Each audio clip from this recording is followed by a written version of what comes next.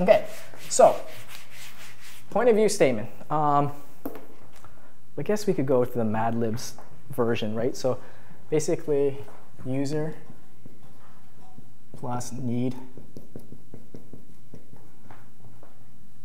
insight, right? What I would say instead of user, I would say Sapna.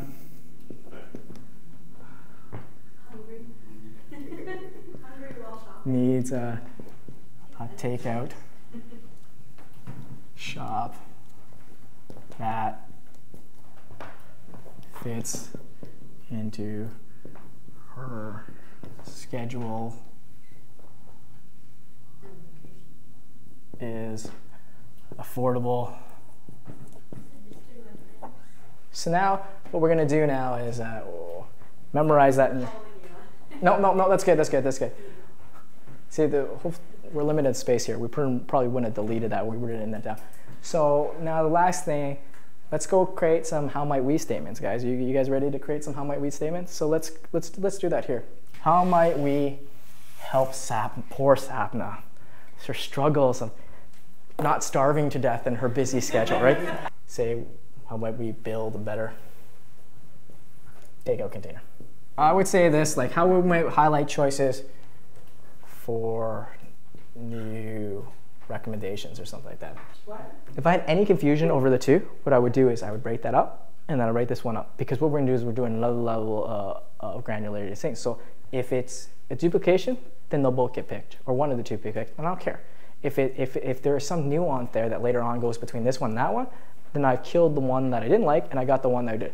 So do you understand what I'm saying? So go. So you add this, any kind of confusion, write it down, right? We're, in this case, we're going for quantity. How might Sapna, no, no, no, here we go. Or not no, but like, how about this? How about Sap, how does Sapna share her reviews with friends, right? And yes, there's definitely some people in the audience who are going to say that this one is, is sort of out of, out of, out of, out of context, right? Yeah. Right? In the end of the day, sometimes I really don't care because I want quantity here. And we'll do we'll do the threshing, we'll do the, the wheat floor, the shaft, you know that type of thing on later on, right?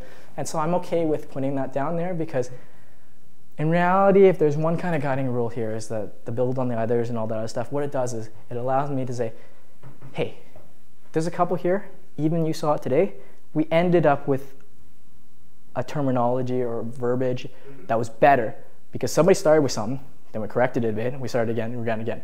I would rather write it down and then have it on the wall and correct it than not have it at all. It's the whole thing of like when we talked about even testing, you, you didn't write down, it didn't happen. So like we have that brainstorming happens all the time. So if you had to do the facilitation, here's another hint. People are gonna like, oh, and they see something and they yell it out, and I will tell them right away. First of all, one conversation at a time. But secondly, I tell them, if you didn't write it down, it doesn't exist. And then I hear the scribbling of the Sharpie, and then I, I think of innovation, right? right, okay. So, okay, so probably would probably normally go on quite a bit longer because the first ideas that you have are usually pretty good. The ideas in the middle sometimes kind of get bland, and then the ideas at the end are usually type of really good. It has a lot to do with, uh, there's, uh, I think there's a couple studies on that, but the idea is like you have the obvious ideas that start here, and you have the wild ideas here, and you might have a little lull. Sometimes you have to get past this in order to get that idea here. You know, obviously these ones are the low-hanging fruit here. We could have stopped this project and only had this bit, but we would have lost this time a bit. So as a facilitator for this type of stuff, I think you do need to have a little bit of a play of when you think the group is going on course, when, when stuff like that, but also, yeah, like I said, like some of these ideas, like, you know, the review one came up to the sort of near the end, you know, obviously the takeout was very at the top, but even then you'll see a type of curve. So now let's go to the last kind of bit, and this is the last piece of empathy where we sort of go again at that point in time, once we've done the empathy, we will go to the, we're sort of in the define idea part, but the idea is like, there's eight ideas here. What do you guys think? There's no magic number on this one, but what do you think is sort of really, really important? I'm going to show you the process, whether the model is quite different. So what we do is oftentimes actually, it's funny that we had actually talked about this, Vinny and I, about the break, about what's the difference between sort of what design thinking is compared to some of the other models. What I wanted to say, and what I hope I was able to communicate, was the fact that previously what we did is we sold product and ideas based off of specification sheets. They have bunch of features, basically a feature sheet. And our, all our sales and battle cards are sort of done on this type of communication, right? And oftentimes when we go into a meeting, we sell people say, you know, our product does we fill an RFP or something, eight of the nine things that you're asked for and stuff like that. It's very feature driven, and it's usually a checkbox. Good or bad, we don't even know. Like it's it's sold in the initial part of it. That's because we used to build products based off features. And so what I said is the difference between design thinking is now what we're doing is we're backing up one type of problems. Not what the what do people want, what is the need? And it's interesting enough if you kind of look back at this, and if we were to approach a different model, and I interviewed Ashvini or didn't interview her and say, I want to build out the world's best takeout place.